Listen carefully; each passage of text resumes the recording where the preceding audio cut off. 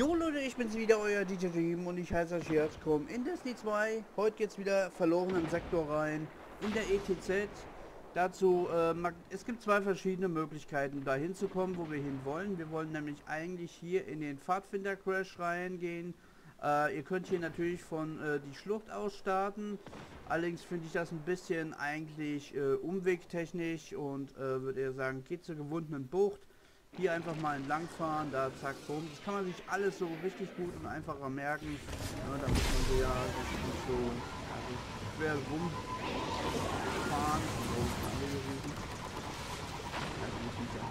ähm, ja, fahrt nicht so weit hier in das äh, Ding rein, sonst sonst hier raus und äh, fährt und dann müsst ihr da wieder da hinten starten und das ist ja doof. So, hier gibt es eine Kabale.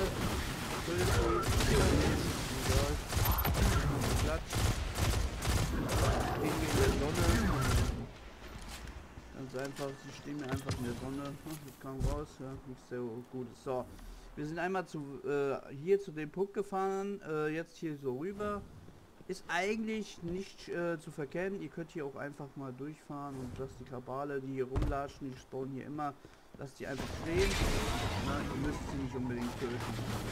Nicht äh, wichtig. Also, müsst ihr nicht machen.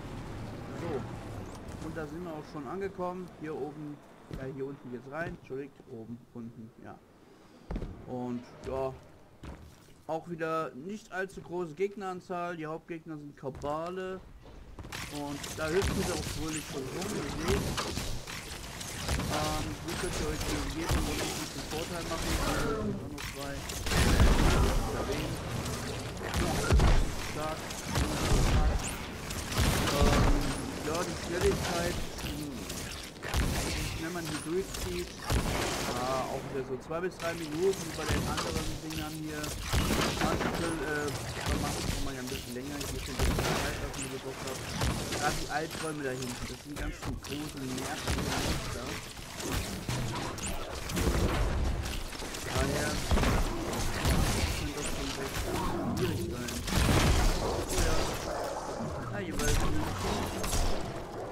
Feines weißes Ganz feines weißes ja, Ganz feine Tiere sind das. Ich hätte gerne als Haustiere. Na, so, so, so, so ein weiß äh, wie du. Echt krass. Da oben ist wieder der große Einmal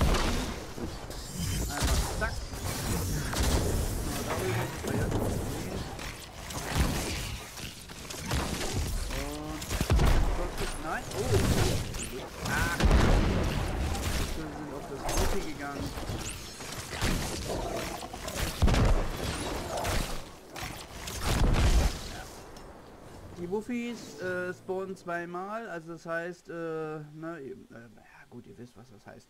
Sind sie erstmal tot, spawnen sie noch ein paar Sekündchen wieder und dann kommen halt wieder, ne, nerven halt die kleinen Wuffis. So, alles tot, alles fein, alles schön und zack und vielleicht kriegt ihr was Gutes raus, vielleicht auch nicht.